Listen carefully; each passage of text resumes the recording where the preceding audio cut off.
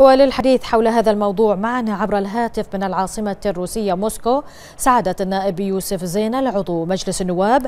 مساء الخير سعادة النائب. ولو تطلعنا بشكل مفصل أكثر حول مشاركة وفد مجلس النواب في هذا المنتدى وحول ورقة العمل التي تم تقديمها من قبل المجلس. آه، مسي عليكم بالخير جميعا. إحنا في العاصمة الروسية موسكو لحضور هذا المنتدى الثاني. تحت عنوان تطوير النظام البرلماني. آه، وطبعا هذا المؤتمر شارك في آه، مجلس نواب برئاسه آه، معالي الرئيس وزير زينل. وإحنا ثلاث أعضاء من المجلس مشاركين أيضا معها نعم. وكانت هناك محاور عديدة. إحنا حقيقة يعني ركزنا على الجلسات العامة والجلسات المتخصصة ووزعنا الدور كل واحد خذ له محور من المحاور الرئيسية وقدمنا العديد من آه، المداخلات. والحمد لله يعني مداخلات طيبة.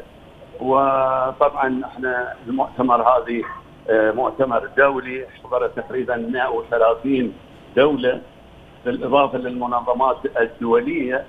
وهي فرصة أيضا لإبراز الدور والوجه الحضاري لمملكتنا الحبيبه البحرين. نعم.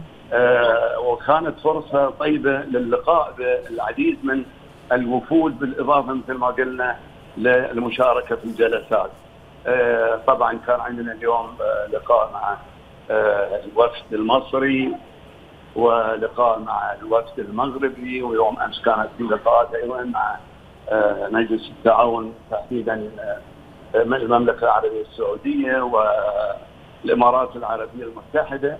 وهذه طبعا دورنا هنا إحنا لازم يعني مو بس نشارك في أوراق عمل ومداخلات أيضا يعني نقوي صلاتنا ونعزز الصلاة بالإضافة للقائنا مع آه، مجلس الاتحاد أمس الغرفة العليا في آه، روسيا الاتحادية.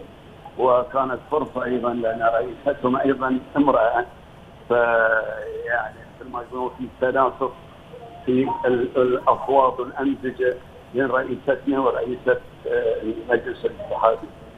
آه، فبالتالي يعني الحمد لله يعني توفقنا وبكرة إن شاء الله عندنا لقاءات أيضا. أنا أيضا عضو في مجلس الأعمال المشترك البحرين الروسي نعم. وعضو في لجنة الصداقة البحرينية الروسية. باكر إن شاء الله بنكمل آه، مشاركاتنا. ولقاءاتنا وأيضا في هناك مجموعة من التوصيات لتصدر غدا إن شاء الله من قبل المنتدى. نعم سعادة النائب يوسف زينل عضو مجلس النواب شكرا جزيلا لك.